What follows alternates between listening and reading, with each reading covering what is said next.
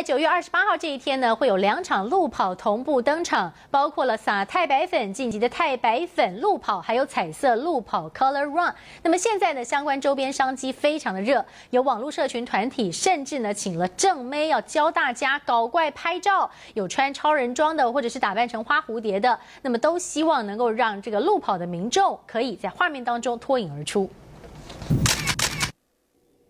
着镜头三连拍，正妹边跑边装可爱，全都是为了参加彩色路跑做准备。不过，如果在路跑粉末满天飞，要怎么拍张美美的照片？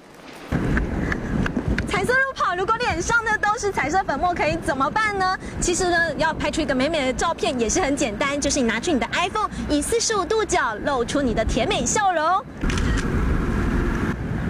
一张可爱照片就出炉了。除了四十五度角之外，在粉末飞扬时眼睛睁不开没关系，紧拍装可爱也能过关。还有还有，表情夸张，彰显出更欢乐气氛，拍出照片更有张力。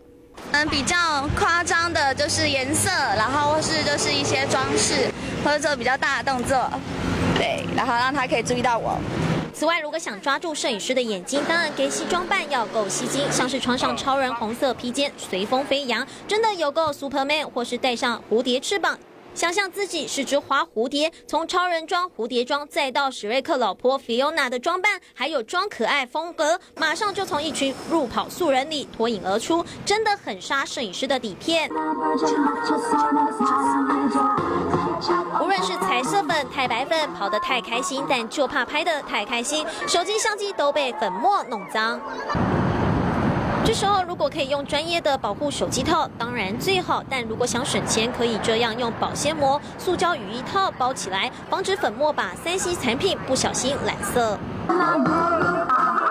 光是九月二十八号就包括晋级的太白粉，还有 Color Run 两场路跑，不止运动产业也跟着发烧。从特殊路跑拍照技巧角度到怎么保护手机相机，通通都成为路跑迷的新话题。中天新闻综合报道。